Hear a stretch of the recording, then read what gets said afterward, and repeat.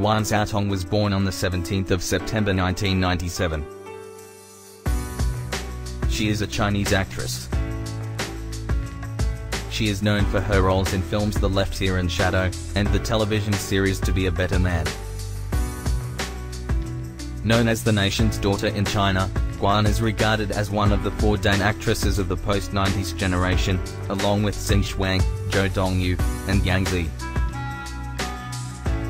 Guan was born to a family of actors in Beijing. Her father, Guan Sheng, was an actor, and her grandfather, Guan Xuezeng was the founder of Beijing Qinshu. From an early age, her family encouraged a passion for the arts, and she first starred in Guan at the age of six. In 2016, Guan was admitted into the Beijing Film Academy after placing first in both the practical and written section of the Chinese college entrance examinations. On October 8, 2017, it was announced that Guan is in a relationship with Chinese actor singer Lu Han, her co-star in Sweet Combat.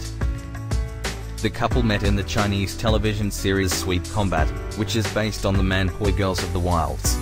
The young couple announced their relationship openly on the Valentine's Day by posting pictures on Instagram. She won Best Supporting Actress at the Hengdian Wenrong Awards for her role in A Master of Two Servants.